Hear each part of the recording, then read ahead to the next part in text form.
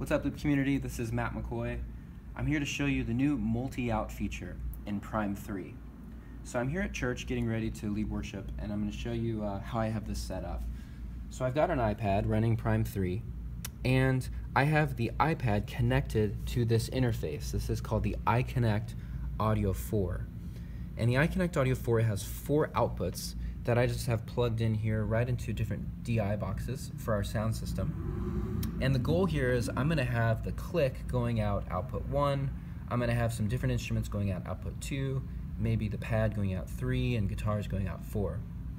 And the way that this is connected to my iPad is it's connected via a lightning cable right into my iPad.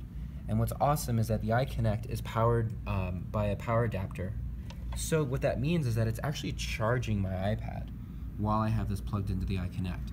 So now no more am I going to be running out of battery um, you know, during the worship set. It's being charged by the interface. What's also really cool is I have my Looptimus plugged in via USB to the back of the iConnect. There's a jack here where you can plug the Looptimus in. It powers the Looptimus up, so I'm able to use the Looptimus and the iConnect with Prime and it keeps my iPad fully charged. This is an amazing interface. So all you do once you have Prime 3 installed, um, in the top left part of the screen, you hit this button that says Outs.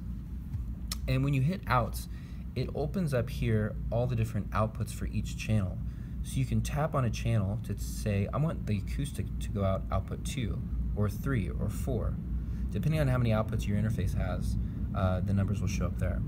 So right now I have it set to all of my instruments going out one, and my click and cues are going out two. So let's hit play, see what that sounds like.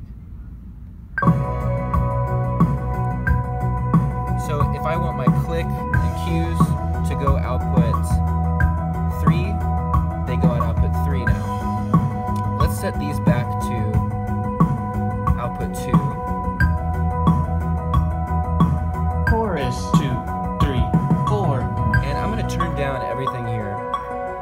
just so you can hear what's going on. We're, we're gonna want the drums to go out output two. So I'm gonna hit two, and now the drums are going out output two. Or if I want them to go out output three, now they're going out output three. You can do the same thing with your guitars. First, two, three. If you want your guitars to go out output two, now my guitars are going out output two, or output three, let's say. Let me go back here and hit play. The guitars are going out two, and the click and cues are going out output two, while the guitars are going output three.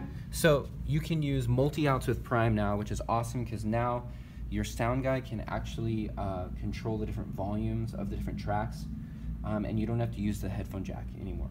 So, hope you enjoy that. That's multi-out.